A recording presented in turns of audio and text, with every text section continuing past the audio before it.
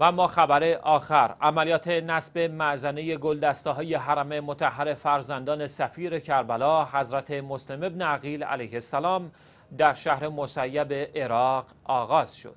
عملیات نصب این مأذنه ها به دست متخصصانی از استان قزوین ایران در حال اجراست.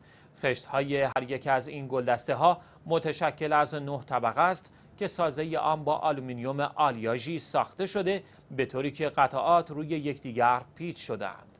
پیش از ابداع این روش جدید برای بازسازی سازه های قدیمی باید کل بنا کندکاری می‌شد اما در این روش دیگر نیازی به کندکاری نیست و تنها کافی است پیچ ها باز شوند و سازه ها پس از آبکاری و برطرف شدن آسیب دیدگی سر جای خود قرار گیرند. لازم به ذکر است این حرم مدفن ابراهیم و محمد فرزندان مسلم ابن عقیل ابن ابی طالب علیهم السلام هستند که در سال 61 هجری در همین منطقه به شهادت رسیدند و به خاک سپرده شدند این آستان مبارکه در غرب شهر مسیب در کنار شط فرات در چهار فرسخی شهر مقدس کربلا واقع شده و از توابع استان کربلا به حساب می آید.